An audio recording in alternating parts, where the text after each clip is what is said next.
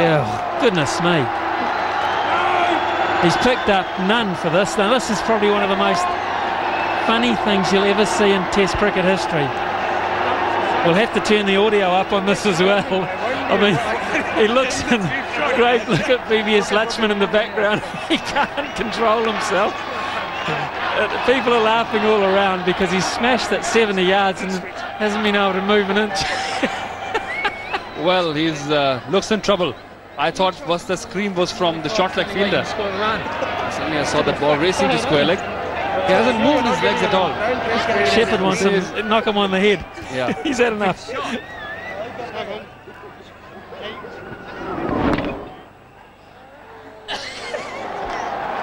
this was amazing. This is like the front line in a battlefield. I haven't seen something like this. this is hilarious. oh, he won't think it's hilarious.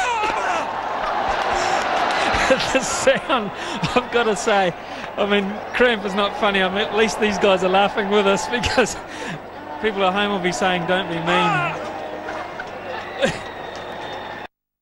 oh, jeez.